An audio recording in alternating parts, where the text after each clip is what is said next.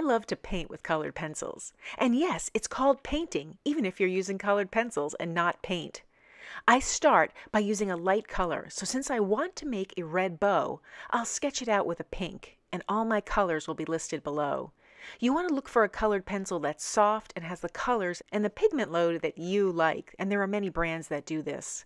I happen to like Prismacolors. After I have my sketch, I'll do an underpainting with moss green, and that just means I lightly color areas that I want to be dark, and then I'll layer over them with my reds. I'll use Tuscan red and crimson red.